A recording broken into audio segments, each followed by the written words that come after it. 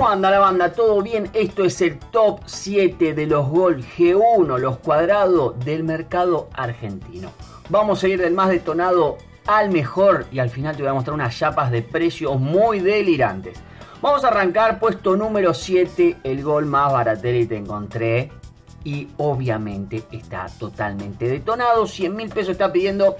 Vendo permuto. Funciona bien. Nafta, GNC. Solo el título. Titulares de Mar de Ajó. Anda un día de vacaciones y de paso anda a buscar el titular en Mar de Ajó. Lo señaron y no lo vinieron a buscar. Entonces lo volvemos a poner en venta. Mirá cómo está esta bolera. Se le cae la oreja al lado izquierdo picado, crocante, faltante de parrilla, ópticas, óxido, o sea, no le falta nada de las cosas que no debería tener, las tiene todas. Goma baja, o sea, un desastre este gol, pero 100 mil pesos, ¿qué te compraba? Una docena de alfajor Habana, vale más o menos 100 mil pesos. O sea, un desastre, no sirve para nada, es el puesto número 7. Tranquilo que esto va a ir mejorando. Le quiero agradecer a la gente de One XB por estar bancando nuestro canal. Te cuento que OneXBet es la casa de apuestas deportivas más grande del mundo que cuenta con una gran variedad de deportes para que puedas apostar y una increíble cantidad de juegos para divertirte y ganar dinero. Si te querés sumar a la familia de OneXBet, no te olvides de entrar al link que está en la descripción y comentario fijado usando mi código promocional para ganarte un bono de bienvenida de un 130% en tu primer depósito. Gracias OneXBet por confiar en nosotros. Ahora sí, continuamos con este video. Vamos al puesto número 6 y mejor bastante. Duplica el precio, 200 mil pesos están pidiendo por este gol. Y tiene todos los papeles, ya 100 mil pesos de papeles. Tenés nada más algo importante para poder circular y transferirlo, ¿no? Y acá ya lo tenés con las luces prendidas, llantas marca Carrefour, si bien no está totalmente pinchada como el anterior, esta goma está totalmente baja la delantera y te está demostrando que por lo menos la tapa del abre. No sé si cierra, acaba que tener que ir andando así, pero acá está. Obviamente también oxidado, pero ya te vienen unas calquitos. No dio para tres llantas Carrefour, para cuatro, dio para tres nada más. Fíjate, tenemos una chapa ahí atrás y tenemos cinco fotos. O sea, prácticamente hay cuatro, todas fotos iguales, pero son cinco. Mirá, todos los ángulos. Jamás se le ocurrió a este vendedor sacarle una foto de adentro. No, no había forma, ¿eh? Cinco fotos, cinco fotos iguales. Madre mía. Vamos ya al puesto número 5. Me voy de la Deep Web porque no puedo estar mucho tiempo ahí. Ya me voy a Mercado Libre. Y acá hay un salto rotundo. Obviamente en guita también. Te dije 100 mil pesos, 200 mil. Había otra garompa por 500 mil. Bueno, un palo 500 para ya tener un Gol G1. Igualmente un palo 500 lamentablemente no es mucha plata hoy en día. Y esto ya es otra cosa. 1995, 185 mil kilómetros, no tiene descripción. Y ya tiene otras calquitos, es un color medio violeta, parece azul, es medio raro. Tiene cuatro llantas iguales, está muchísimo mejor presentado, gracias Mercado Libre. Y el auto está muy bien. Ahora vamos al interior y tenemos palanquita de cambio que no me gusta, alfombras tuning metalizadas para revolearlas, unos relojes acá en el medio de la consola que obviamente no eran originales. Pero bueno, nada tan grave. La bandeja trasera está agujereada con parlante, no sé si tiene un subwoofer ahí perdido. Nada grave, nada que no puedas volver a original. El volante sí es original. Y la base está muy bien. Por eso tiene un digno puesto número 5. Muchísimo mejor que las otras dos botas del séptimo y del sexto. Puesto número 4. Acá ya va a ir mejorando la cosa. Tenemos un golcito, un concesionario del año 95. 1.750.000 pesos. Un poquito más que el anterior. Y me pareció, al menos viste, de concesionario medio disfrazar algunas cosas. Eso hay que decirlo pero este sí por lo menos no tenía estas alfombras tuning. Si bien tenemos las llantas de chapa que venía en algunas versiones, acá lo tenés. Y lo que no me gusta, o sea, entre el anterior y este haría uno. O sea, le pongo la llanta al anterior, le pongo el volante del anterior. Tiene un volante que no pega con nada. Si bien se lo suelen colocar mucho a los Gol, es más, digamos, para un Gol Tren, algo más 2012 para adelante si querés en un G1 decís, esto está pero muy de más. No pega con nada con el año del auto ni con el estilo totalmente original, aunque vaya un par de colores también lo que es el vano motor, pero de afuera está todo original y de repente aparece ese volante y me hace ruido. Pero bueno, puesto número 4, Zafa, está bien. Entre el 4 y el quinto te diría que podrían, cualquiera de los dos están en su lugar.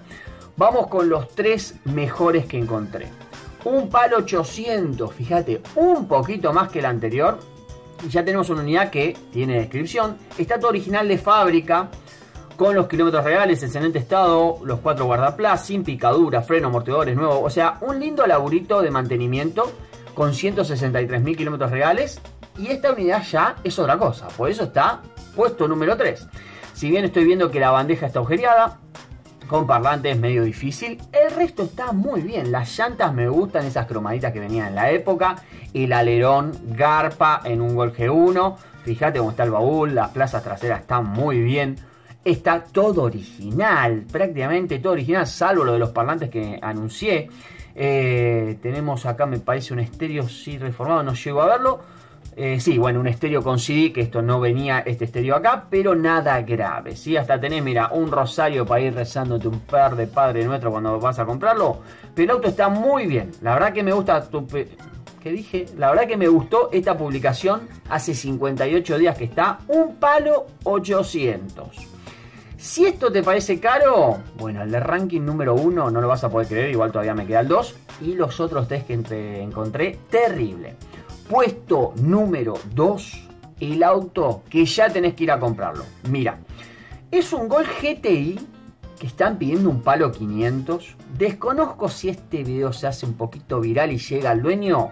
Capaz que lo aumenta. Así que si terminás de ver este video, anda, llamalo, señalo, compralo. Es un Gol GTI líquido por esta semana, dice, igual hace 42 días que está.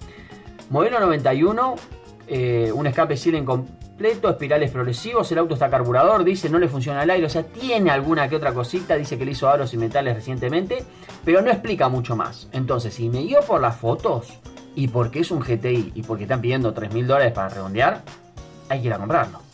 La verdad que el precio está más que bien. Estas llantas dificilísimas de encontrar en un GTI, porque en líneas generales vienen las que ahora te voy a mostrar que encontré otro GTI.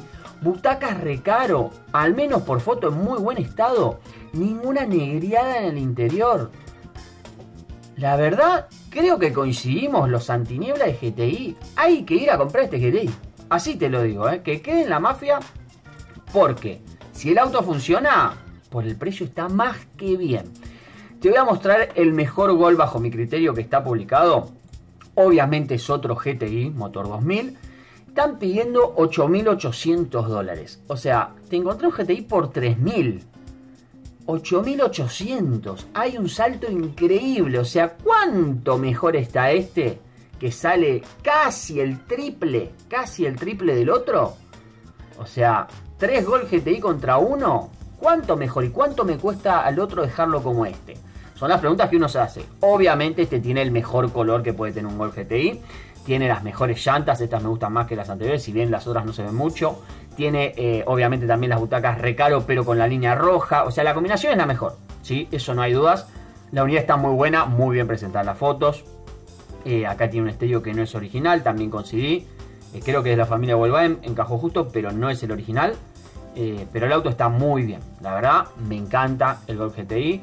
Y ni hablar en este color rojo. ¿Tiene descripción? No tiene descripción. Ahora 8.800 dólares hace 10 meses. Nadie está dispuesto a pagar esa guita por este auto.